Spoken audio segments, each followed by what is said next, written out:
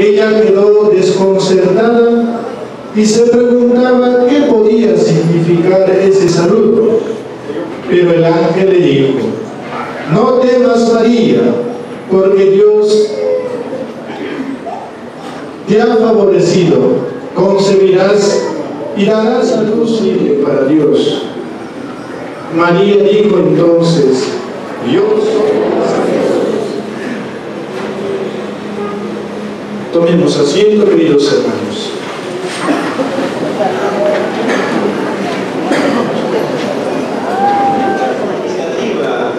Con el esfuerzo, sacrificio, los ensayos, la preparación de los, uh, de los cargos, llamar al grupo para que podamos ensayar, ha sido un sacrificio, un esfuerzo.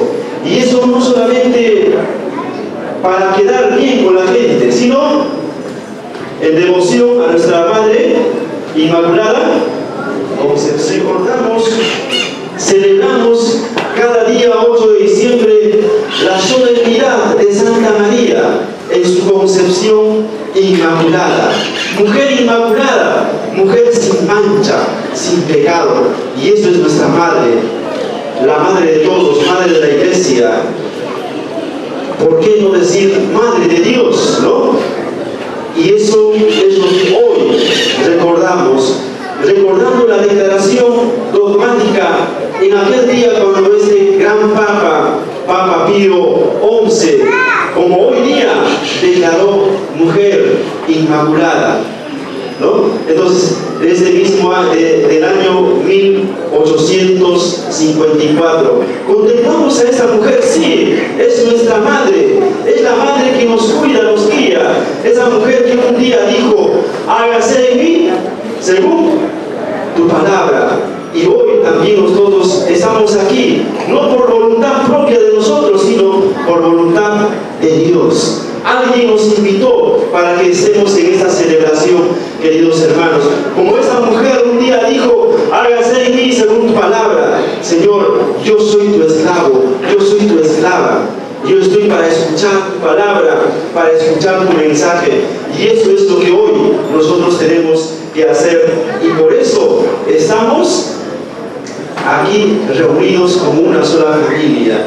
Queridos hermanos, esa festividad hoy recordamos, porque un día ese Papa, Papa Pío XI, declaró en el año de 1854, mujer inmaculada, mujer sin pecado.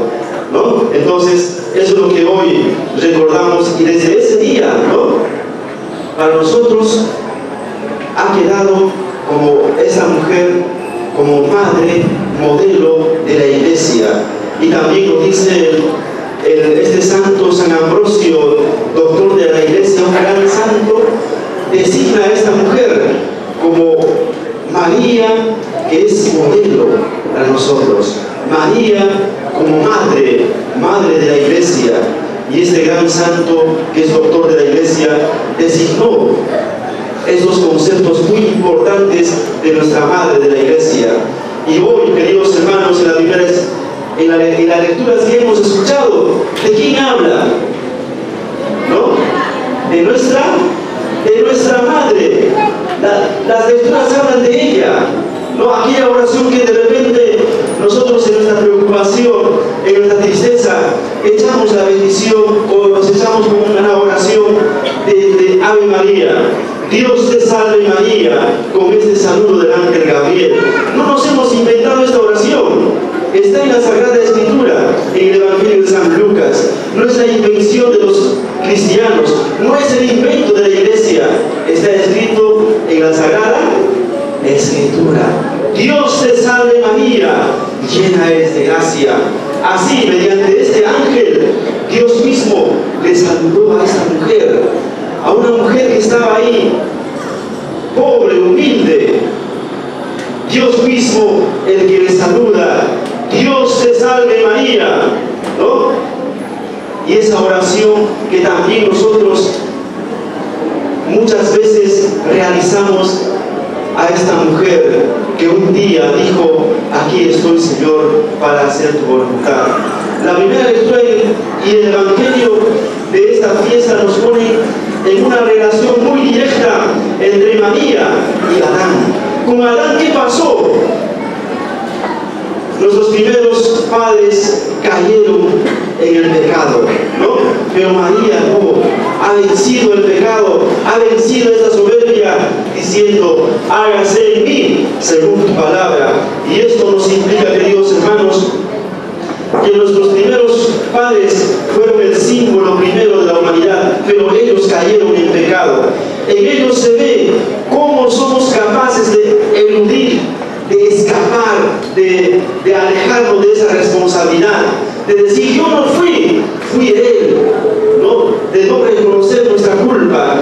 Y eso simboliza nuestros primeros padres, porque ellos dijeron, echaron la culpa al serpiente. Adán mismo dijo, la mujer que tú me diste fue el que me llevó al pecado, de no poder reconocer nuestros errores. Pero no, María dijo, no, cada uno de nosotros somos responsables. Si hemos sido creados libres, somos libres, pero la libertad no es de repente hacer lo que yo quiera, ¿no? Entonces, queridos hermanos, esa mujer que hoy recordamos, María Inmaculada Concepción, es la mujer que nos dice, también hagan ustedes como yo he hecho, hagan la voluntad de Dios. Y eso es lo que nos invita en las lecturas que hoy hemos escuchado. Queridos hermanos, cuando en el relato del Génesis Dios pregunta a Adán y Eva, ¿qué ha sucedido? La respuesta es algo muy parecida. Primero, la mujer echa la culpa, ¿no? ¿A quién echa la culpa la mujer? A la serpiente. Y Adán, ¿a quién echa la culpa? A la mujer. Entonces, ninguno reconoce su error. Ninguno se reconoce su error. Pero esto implica que estos, nuestros primeros padres cayeron en pecado, pero nuestra madre hizo lo contrario. Esta mujer María eso hizo lo contrario. La actitud de María en el Evangelio que hoy hemos escuchado es muy diferente a la actitud de nuestros primeros padres. Ante el saludo del ángel Gabriel, María se siente perturbada, se siente asustada, ¿no? Ante este saludo, el Señor la llena de gracia, ¿no? Se siente asustada, pero eso no lleva a decir que posiblemente el ángel estaba buscando a otra persona, sino que se fijó directamente en esa mujer, en María. Nos lleva a que esta mujer es nuestra madre. El Evangelio nos muestra a una mujer que ha abandonado a su hijo, y es esta mujer María, que escucha su palabra y responsabilidad, con responsabilidad, y eso glorificando a Dios, con devoción a quién? A nuestra Madre Inmaculada Concepción. Queridos hermanos, pues en esta fiesta podamos también reflexionar, meditar, ¿no? ¿Qué es lo que nos quiere decir esta mujer? ¿No? ¿Qué es lo que nos quiere decir mediante esta festividad? Es nuestra Madre Inmaculada Concepción. Y escuchemos, queridos hermanos, y, y que esta mujer sea modelo para cada uno de nosotros, para cada cumplamos, acojamos en nuestra vida, acojamos en nuestro corazón este gran mensaje de esta mujer, la obediencia, decir, aquí estoy Señor para hacer tu voluntad. Eso sea nuestra petición en este día. Todos juntos vamos a responder, aquí estoy Señor para cumplir tu voluntad.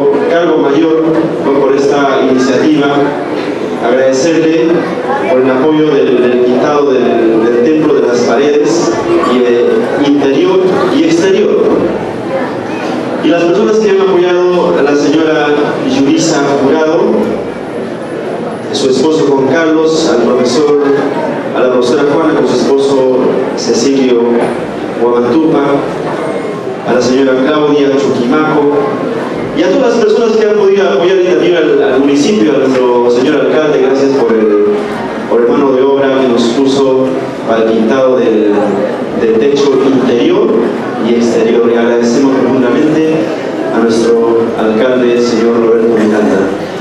Y también a todas las personas que hemos colaborado, ¿no? hemos dado esa iniciativa y la actividad de todo esto para poder eh, arreglar nuestro templo y ahora lo, vemos eh, de repente eh, arreglado y de mejor manera. Y esto gracias a la iniciativa de cada uno de nosotros con el aporte que hemos realizado. Fortaleza, podemos ir en paz. Demos gracias al Señor. Ahora vamos a bendecir las demandas y acompañamos cantando. thank you.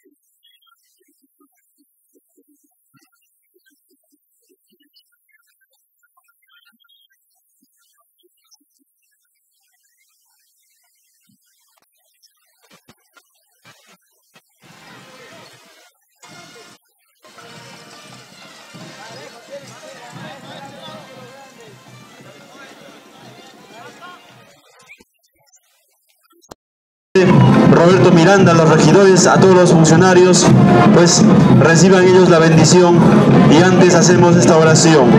Padre nuestro, que estás en el cielo, santificado sea tu nombre. Venga a nosotros tu reino, hágase tu voluntad en la tierra como en el cielo.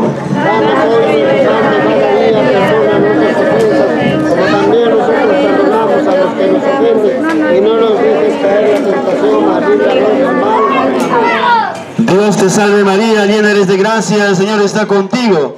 Bendita eres entre todas las mujeres y bendito es el fruto de tu vientre Jesús. Santa María, Madre de Dios, ruega por nosotros los pecadores, ahora y en la hora de nuestra muerte. Agradecemos a nuestro alcalde Roberto Miranda por, esta, por este descanso. Nos disponemos para recibir la bendición.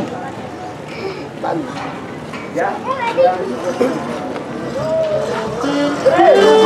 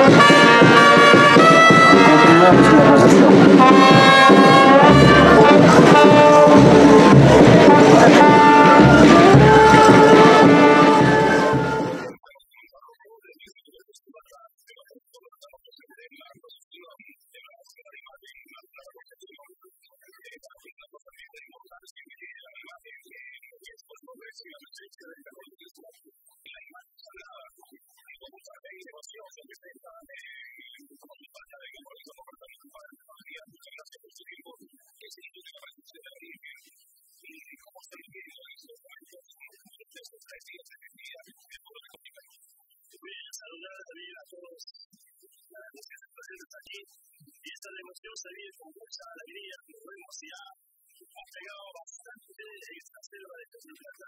La devoción a la Madre Inmaculada. Y esto lo podemos ver en este, este gesto de las danzas, la alegría, ¿no? Entonces, de esa parte, uno va demostrando su peso, alegría, su devoción.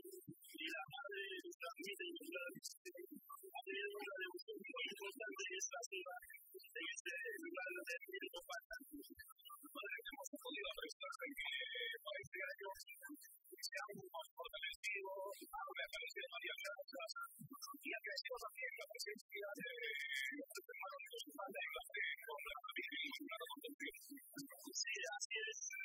gracias. a, la, devoción de nuestra vida y nuestra Concepción,